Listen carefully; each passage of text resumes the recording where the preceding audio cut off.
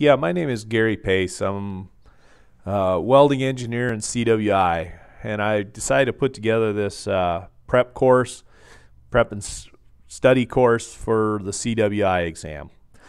Um, the key here is, and I, I rant on in this uh, presentation about you know things you need to look at and whatnot, but that's the basic gist of it. Is uh, this module we don't cover anything on metallurgy or anything. This is just you know helping you realize that this test is probably going to take some time and it's probably not going to be really really easy. Maybe it is. Maybe you're some kind of savant and you got photographic memory and you'll chew through this thing, not an issue.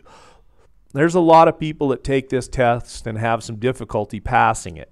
And that's kind of the my audience here is kind of help those people develop a study plan and realize hey i need to get a bunch of books and you know not just this one book is going to get me through and you know the overall scope of this that this is like learning a language this is like learning a culture. You know, we're not picking up a pamphlet on French and learning the French culture or learning Pashtun like that. No, it takes some time. You, you got to immerse yourself in the language, the culture, the vernacular, and understand what this test, what you're expected to do on this test. So that's kind of where philosophically I'm coming from. And, you know, I apologize beforehand. I use a couple of, you know, metaphors or analogies that are related to American football. If you don't understand American football, I'm sorry, but um, you could probably work your way through it and understand it anyway. So, but hopefully this uh, prep and preparation and study course module will help you, you know, define what you need to learn and how you need to approach this test. Hello, my name is Garry Pace, uh, professional engineer, CWI out of Katy, Texas. There's my website. Not that there's a lot on there, but anyways, that's my contact information. This is the AWS recommended self study um, list of documents. You can see it's a pretty good list of documents um, certification manual for welding inspectors, weld inspection handbook, D1.1, D1.1 code clinic reference manual, API 1104. You're not going to re- need to read all of these because if you're taking in 1104, you're obviously not going to need to delve into D1.1. Um, Weld Inspection Technology is an important book. The Welding Inspection Technology Workbook is important. Um, the sample CWI Fundamentals Examination and Key are a good um, document to have. Um, standard and welding terms and definitions.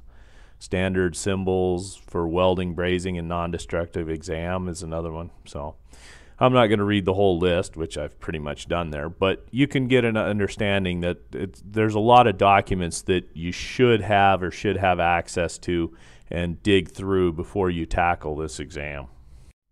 Here's another few books, you know, the AWS Handbook series, Guide for ex- Visual Examination of Welds, Safety and Welding and Cutting and Allied Processes. That's a good one to dig through. Metric Practice Guide for the Welding Industry, um, Standard Methods for Mechanical Testing of Welds, and then Specification for Welding Procedure and per- Performance Qualification, B2.1 is another good one to dig through. All right, when you take the CWI exam, there's going to be three parts to the exam. You've got part A, which is a two hour, 150 question closed book test on welding fundamentals. There's going to be all kinds of questions on, you know, what does SMAW stand for? Um, what is the 70 and E7018 stand for? Things like that. Basic metallurgy, um, welding questions, and that's all covered in the welding technology workbook, and we're going to dig into that. Um, part B is a two hour hands on test of 46 questions that requires the test taker to use visual inspection tools and a sample code book. So you're going to go in there and look at a bunch of uh, plastic fillet welds and groove welds, and they're going to give you some weld inspection tools, and you're going to answer questions on those um, on those samples. So they're going to give you like a, a mock up code, and you're going to have to disposition these welds based on the little um, the little code book they give you that's got inspection criteria and acceptance criteria. This is usually the one that trips everybody up. Um, part C is a two hour open book test of 40 to 60 questions, and I took it on AWS D1.1, but a lot of people take it on API 1104. So it's open book. You tab your book. If you have a good understanding of your um, code that you're taking the test to, most people get their way through it. Um, but part B usually seems to be the one that trips people up. Of the people that I've seen take the test and talk to, I have yet to hear anybody say, Yeah, I nailed part A and part B, but I flunked C. Or I failed part A, but I got B and C. B is usually the tricky one. That being said, we're not going to get into part B in this um, series of presentations. We're just going to grind through part A hit metallurgy and just go on down the list. So, and try and give you some ideas on studying and how to study. We might have some stuff on part C, but for the most part, this series of presentations is part A. My my advice here is on the self-assessment of the body of knowledge that you have. People come at this CWI exam from a lot of different directions you have some people I, am an engineer so i was working at the hanford site when i took this. I was in and out of codes all the time and i was doing a lot of weld inspection. Every day i went out and inspected you know 20 or 30 welds or whatever the number was. Every day i was looking at welds and then having to disposition them and hey we're cutting this out or no we're not. So i had a lot of um, experience with the codes and the weld inspection when i took this and then I took a, the guy I worked for gave a class to a bunch of us over the course of a few months. So my body of knowledge going into this was pretty strong. But I've known a couple other people that were um, that were not engineers or were not inspectors that took the test, and they did well, but they had to do basically a self-assessment and think, what do I know about welding and what do I not know? And how am I going to attack things that I don't know? So, um, you need to create a study plan, is the first thing. And in doing that, you need to set up a, a schedule for study, which means you're going to need to study uh, a couple hours a, a night, unless you're just some kind of brainiac that can um, you know it has photographic memory and you're just going to blast through this look at it the night before and go it's probably not going to work for you. So you need to set up a, st- uh, a study schedule. You need to find a, a quiet place in your home and make that the study place. Go in there have your books go in there and read. It's your garage whatever. Whatever place you can set up where you've got all your documents and you can go and dig through this stuff and take some practice quizzes and um, just get down and dirty with it. Um, read, study, read, and read some more.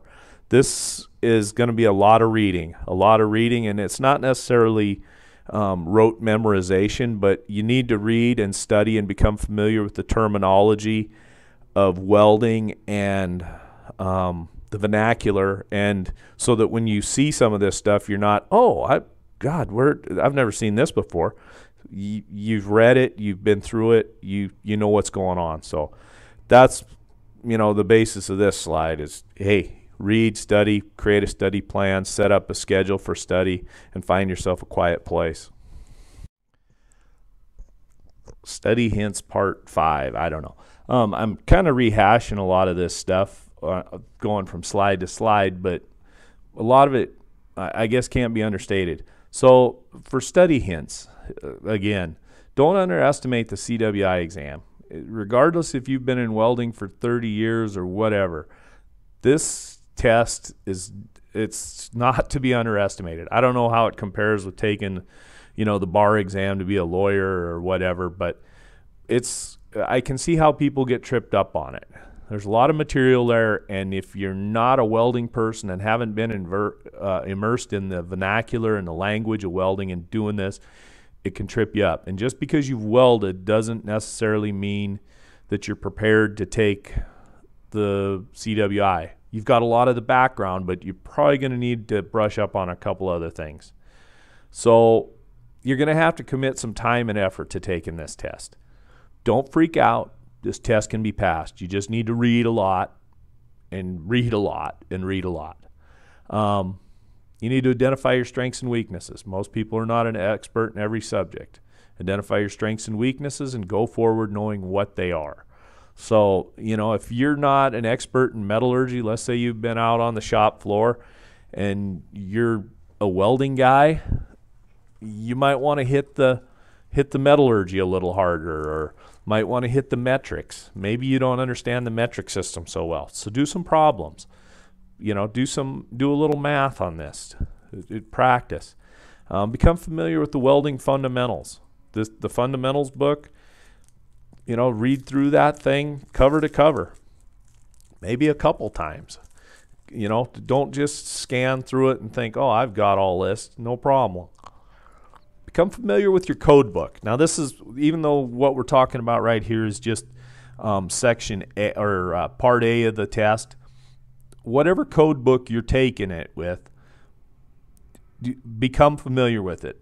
One of my friends that took the test and passed, he was like a crazy man as far as reading the code book. He'd go home and read AWS D1.1 every night. He read through that thing three or four times, cover to cover. He knew it back and forth. He had his little notes in there, which is allowed. You know, he he just took it to that whole extra level of um, focus and commitment to passing this thing. He also tabbed and highlighted your code book, uh, his code book. Um, that's something you need to do. You need to tab and highlight your code book.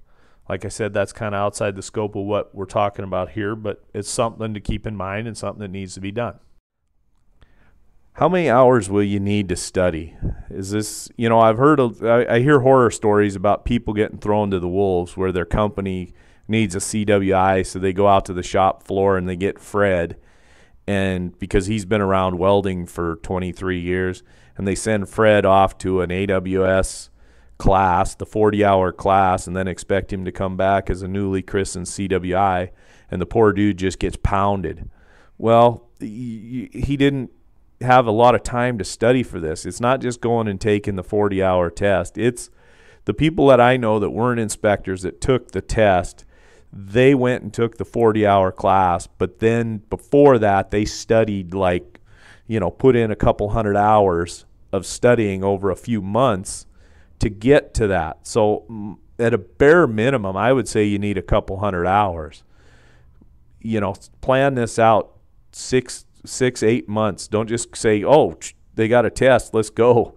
Let's go next month, unless you just know you're going to nail it my advice is to start early, get some books, start reading, read the you know welding journals, start immersing yourself in welding, the culture of welding, the language of welding.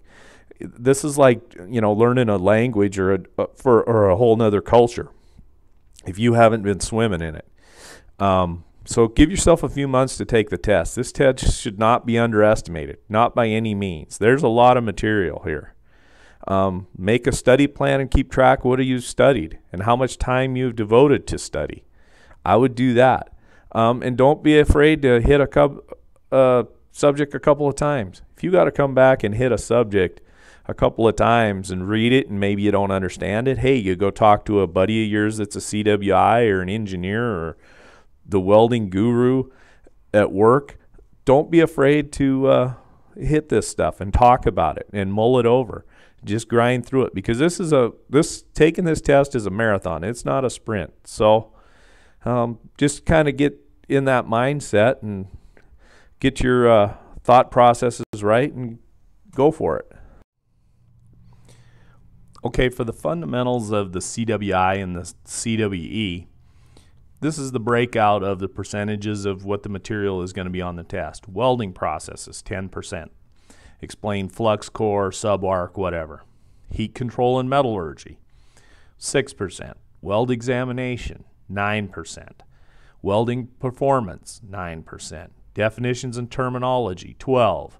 Symbols, welding, and NDE, 10. Test methods, NDE, 10. Reports and records, 6. Duties and responsibilities, 4. Safety, 5. Destructive tests, 4. Cutting, 3. Brazing, 2. Soldering, 1. So, you know, if you got 150 questions on this thing, soldering's going to take up a couple. Would I commit a million hours to studying soldering? No. Brazing, cutting, and soldering? I'd hit it a little bit. Make sure I could, you know, kind of dance around those subjects. The bulk of my time uh, would be in welding processes and, you know, definitions and terminology, symbols and welding. You know those big numbers the 9%, the 12s, the 10s, the 8s, the 6s. You get those down pat, you're going to be in the game. So it's a numbers game. Not everybody gets every question right. Some questions, you know, you can you can be a guru at welding, but some questions on this test you're just like, I got no clue. Pick one and move on if it's one of those questions.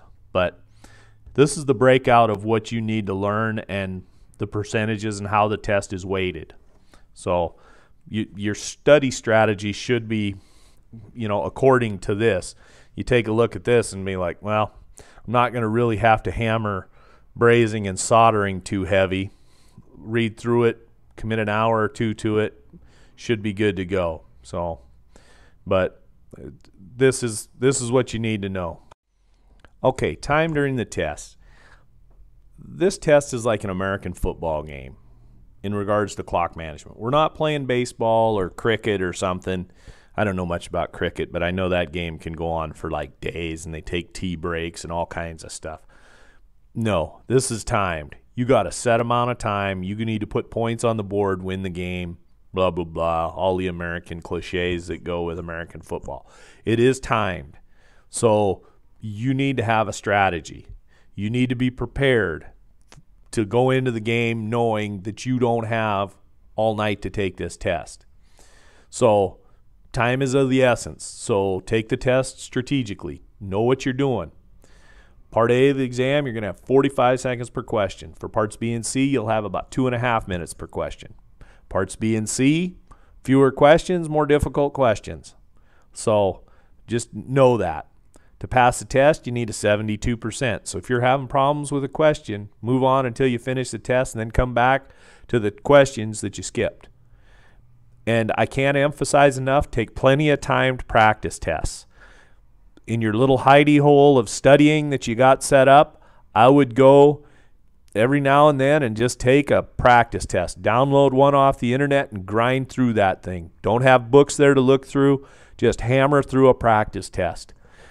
Give yourself, figure out, you know, if you got 10 questions, multiply that by 45 seconds, so 450 seconds you know, seven or eight minutes and go.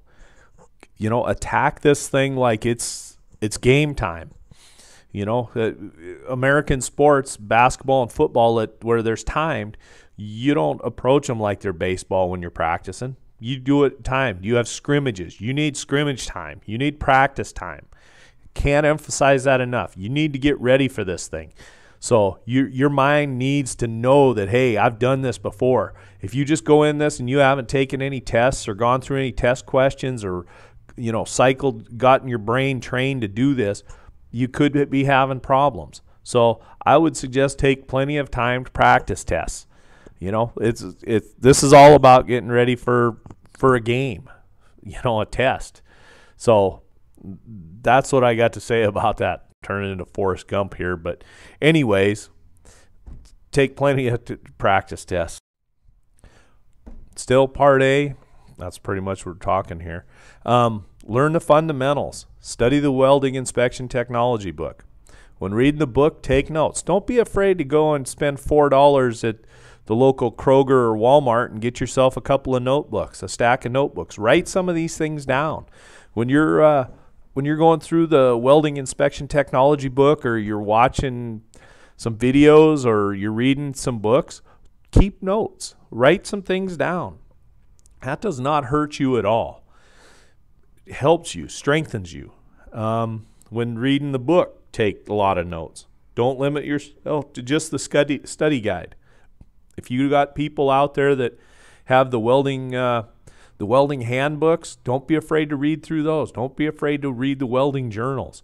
You know, this is immersion into a into a culture, into a language. Welding the welding universe, there's a lot more to it than just striking an arc.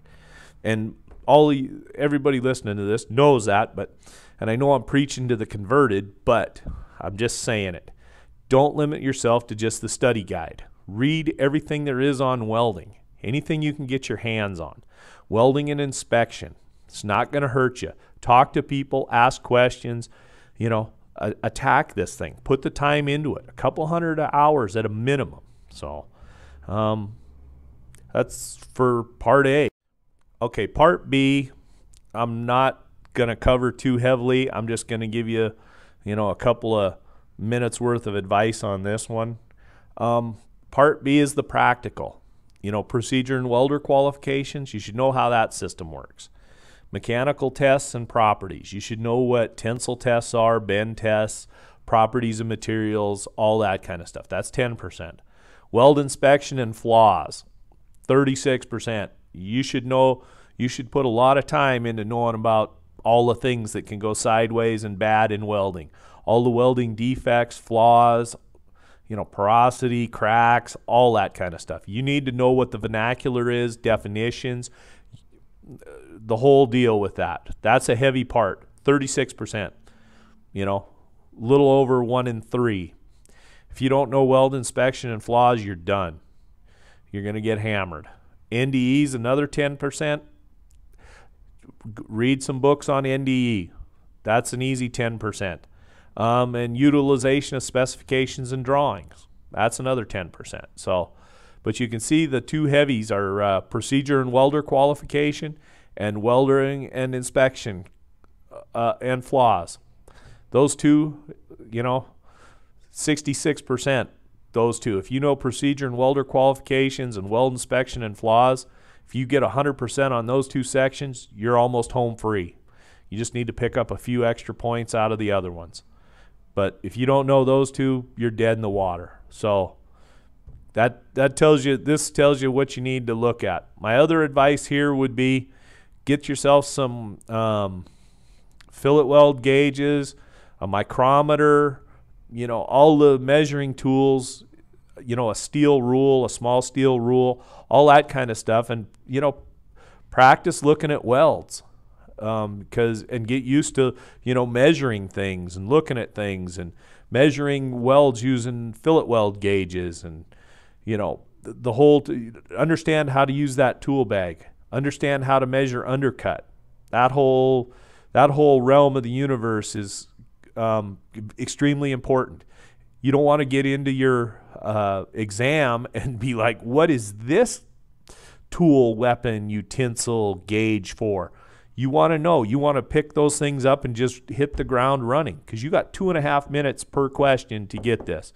So don't wait till the last minute or go into this test and not have picked up a fillet weld gauge or understand how uh, you know uh, how to measure undercut or any of that kind of stuff. Um, you need to know that stuff. So, that being said, it isn't a bad idea to take, if you don't have the resources, time, whatever, to take the full 40 hours. I would show up for the CWI um, exam or the class. AWS usually gives like a one day course on that Friday before the test, and they do the weld inspection section. I would hit that for whatever money that's worth. I would hit that one at, at a minimum.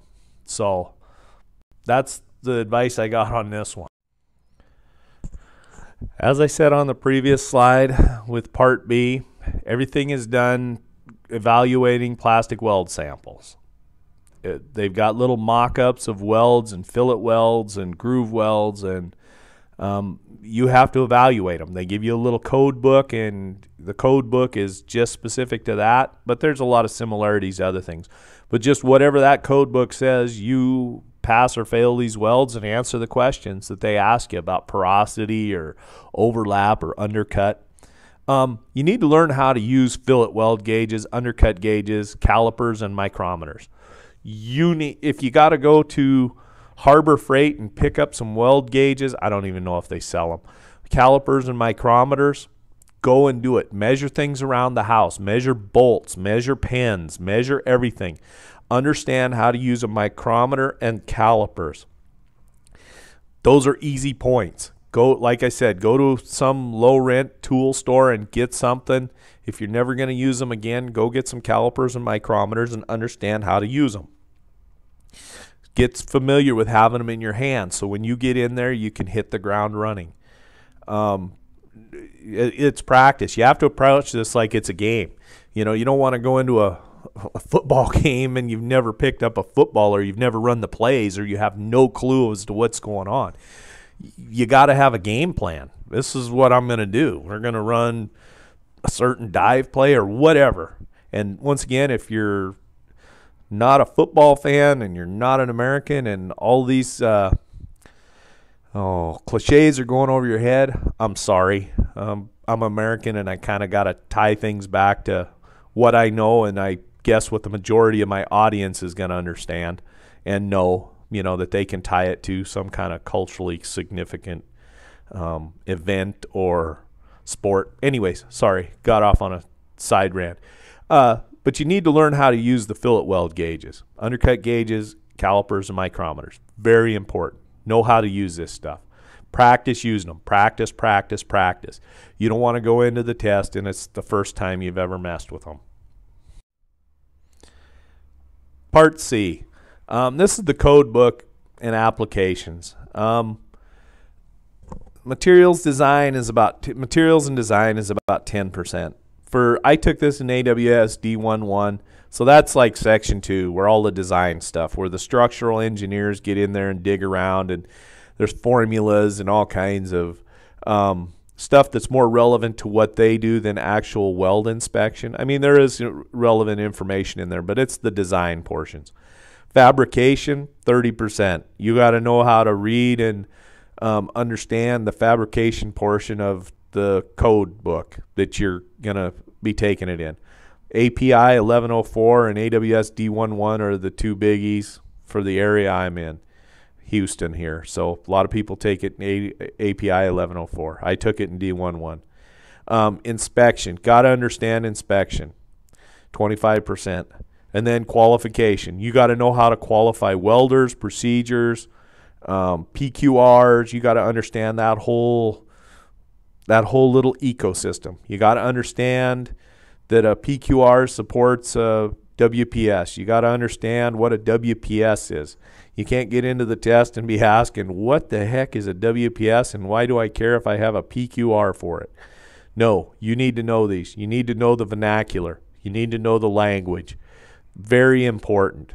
So you need to be very intimate with your code book. Whatever code book you take it with, I, I don't have a dog in this fight. Whatever one you want to take it in, take it in that one.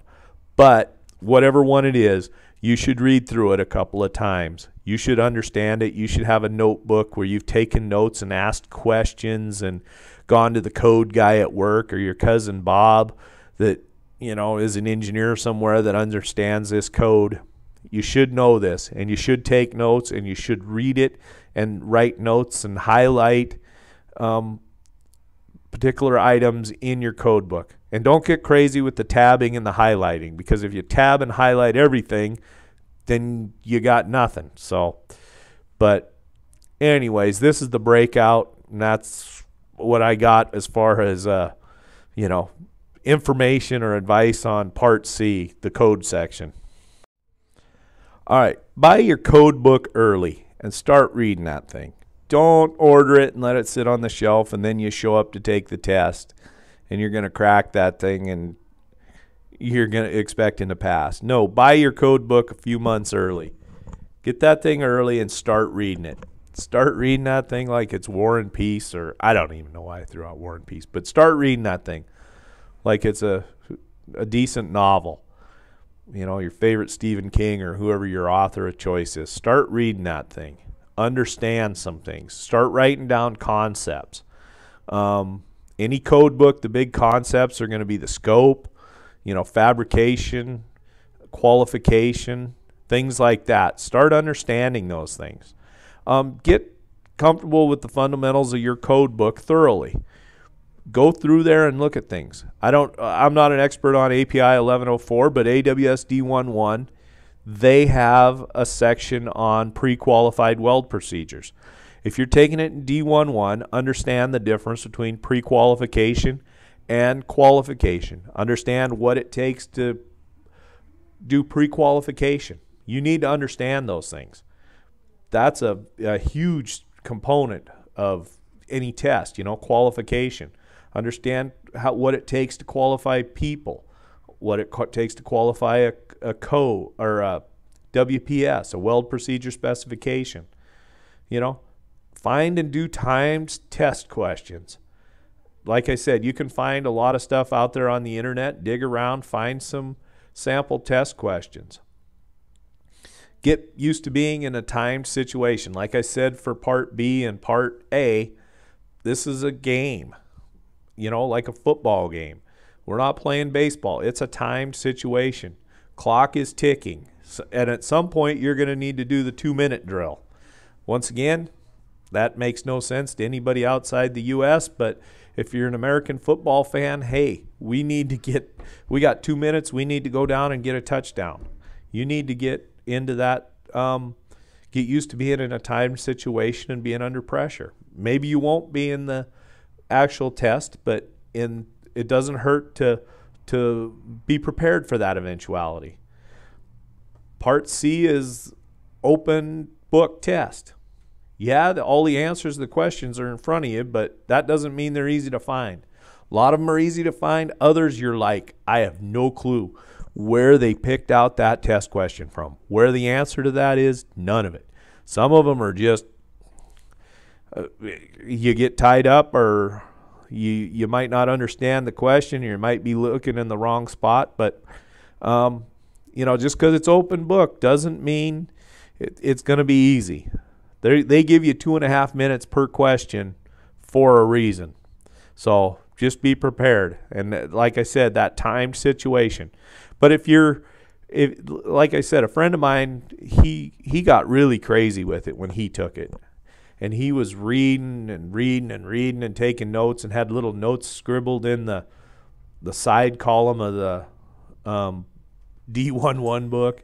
And yeah, but when he when it came time, he just tore through it because he'd been reading it for two and a half, three months, over and over and over. And he'd come in and ask me questions, and we'd talk about it and have conversations, and we'd dig through it and look at different sections. Or I'd go over to his house, and you know, we'd have a pizza and have a conversation on it. So you know, it's putting time into it. And a lot of this stuff isn't necessarily that you're reading it, but hey, maybe you got somebody that's taken it before you and you can touch base with them and have conversations and you know, they can put together a little quiz. But it's time, it's reading, it's putting an effort into it. So I don't know. Rant, rant, rant, rant. But I'm that's why you're here. That's why you're listening to this. So I'm giving you what I got on it. So all right, one last slide, and we're tab and highlight your code book, like I said before. Um, written notes in the margin are also allowed. Um, and here we go. Learn the terminology specific to your code that will help you quickly locate the relevant paragraphs and charts. You need to dig through and understand the charts in certain paragraphs. Some paragraphs are going to carry more weight than others, and certain charts are going to carry more weight than others, depending on what code you're in. So you need to you need to have read through this book and understand. You know, I can't emphasize enough that knowing where paragraphs, certain paragraphs are, and certain charts are. You got to know those. There's going to be some that are more important than others, and you you need to beforehand realize that and have them tabbed and outlined and ready to go. So, just some stuff you need to realize. So yeah, terminology. A lot of this welding stuff, I guess, in closing on this, is you know knowing terminology. Terminology, you know, pre-qualified versus qualified for D1.1. Understanding the scope, you know, what F numbers are, or how to qualify things, or WPSs. There's a whole terminology here that you really, really need to know, and that just comes with time. It's like learning a language. You just have to learn it. Learn the definitions. Understand what you're they're talking about when they ask these questions. So summary, you know, create a study plan, set up a schedule for study, take lots of practice tests. You know, read, study, read, read some more, read some other stuff. You know, really learn the welding culture, you know, the vernacular, the the vocabulary, the terms, the terminology. Can't state that enough. You know, put some time into this thing. Realize it's going to take you some time, but it's a grind. It's it's a marathon. It's not a sprint.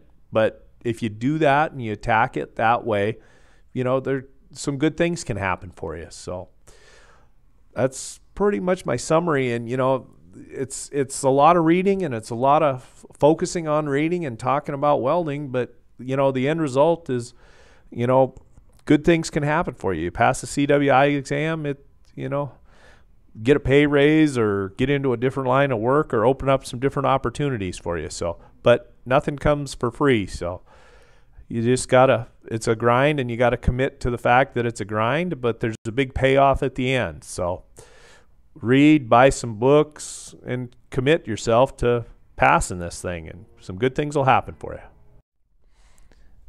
when I give this presentation live, this is the point where I usually ask if anybody's got any questions. But seeing as how this is a presentation that's on the internet, you don't get that. So if you've got any questions, send me an email. If you have any need for a welding engineer, same contact information. My website is texasweldingengineering.com. My name is Garry Pace.